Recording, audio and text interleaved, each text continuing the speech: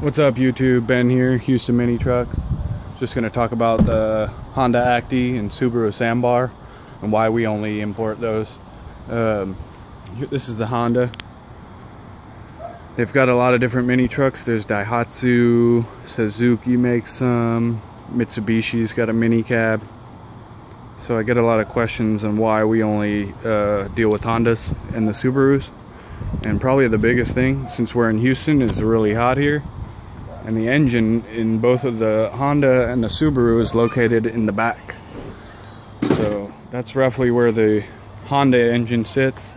The Subaru is actually even further back and it sits uh, pretty much just light, right under the, the bumper.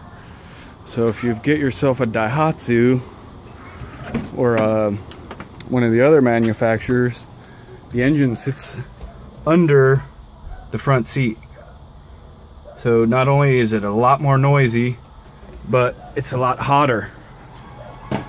Okay, so some of them don't have air conditioning. This actually has the air conditioning and has a compressor.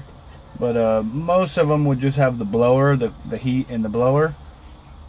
And uh, you're kind of compounded by the fact you're sitting on top of an engine. So in Houston, in the South, I only deal with Honda and uh, Subaru but not to say the other ones aren't good you know in the north or different climates.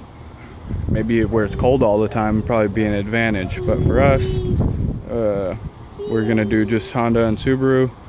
And uh, Honda quality is probably up there with the best